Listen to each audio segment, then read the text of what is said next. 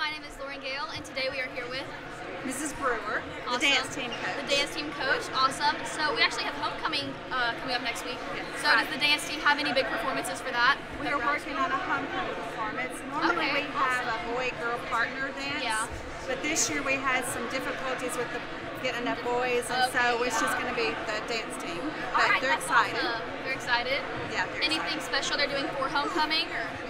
Um, the dance, and we're gonna oh, we're gonna be selling chicken and waffles at the Blaze Bush eating thing. Awesome. So, So chicken make and waffles, and it's Waffle House waffles batter. So That'll be good. yeah. So, what is like the day-to-day practice like preparing for homecoming and like just the dances in general? They practice. Our season starts in April. Okay. We have tryouts in April, so they dance from April until February.